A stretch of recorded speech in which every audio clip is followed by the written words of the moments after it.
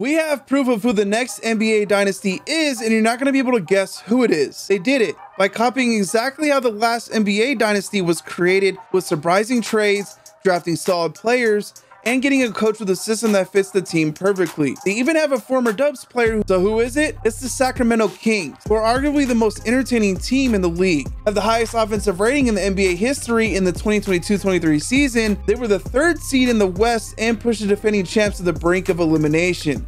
But here's why the Kings should be absolutely pumped for their future, and how that first round loss could be the beginning of a dynasty. After years of mismanagement, busted draft picks, and star players leaving left and right, the Kings have finally gotten it together. But don't forget, after they traded away Tyrese Haliburton in 2022, everyone was scratching their heads. Haliburton was seen as a core building block and a fan favorite on top of that. But what were they thinking? In return, the Sacramento Kings got Domantas Sabonis, who was arguably the Kings' best player in the 2022-23 season. The big man is a double-double machine and has even been one of the team's primary playmakers, giving them their own version of Nikola Jokic. Plus, he's 27 with still plenty of all-star years left in the tank. Then you have the engine of it all, De'Aaron Fox. He has been the Kings franchise centerpiece since he was drafted. He became an all-star for the first time in 2023, leading the team in scoring and named Clutch Player of the Year. Fox is only 25 and hasn't even hit his prime yet. Then there's the Kings super rookie Keegan Murray. Drafted 4th overall in 2022, he played his role perfectly this season. Murray has said that he studied Klay Thompson a lot before he got drafted, and it showed.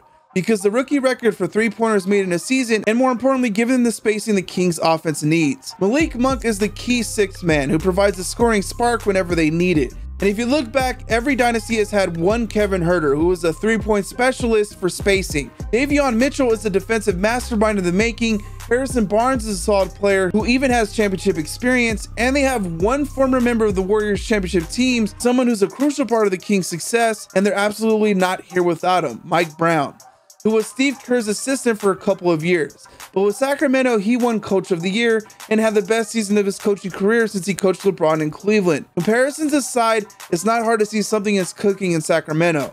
The culture has shifted, and the beam has re-energized the entire fan base. Gone are the struggles of trying to stay out of the basement every year, gone are the wasted draft picks and questionable GM moves, now they got the most entertaining team in the league with one of the brightest young cores in the NBA. And if you add a little on defense with some rim protection or perimeter defenders, they have the potential to be strong contenders for the next half decade. Get used to the new Kings and get used to the beam because if you blink, with the speed and youth of the Kings core, they'll race to the first championship banner in Kings history.